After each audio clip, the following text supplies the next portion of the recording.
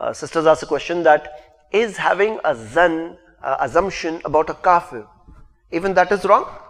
So we find the hadith of the Prophet ﷺ said, Iyakum wazan, avoid assumptions. In zanna agzabul hadith, because assumptions are the worst of the false tales. Huh? So this is about everyone. Now this, he's thinking bad about me. Huh? So many times people create enemies by bad assumptions.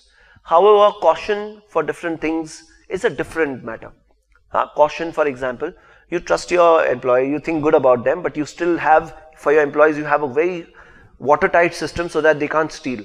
You have a watertight system to so that you have put cameras, you've told them also you're not spying illegally on them. You've put a stock uh, barcode system, everything you've done so that they don't steal. Now this is what tying the camel. So tie your camel is also hadith.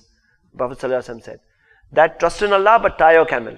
So tie your camel but assumptions don't go into the thing of false assumptions all the time and then this creates problem.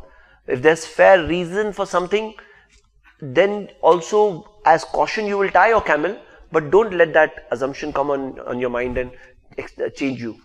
People change because of that. So many problems and communal problems are created due to assumptions.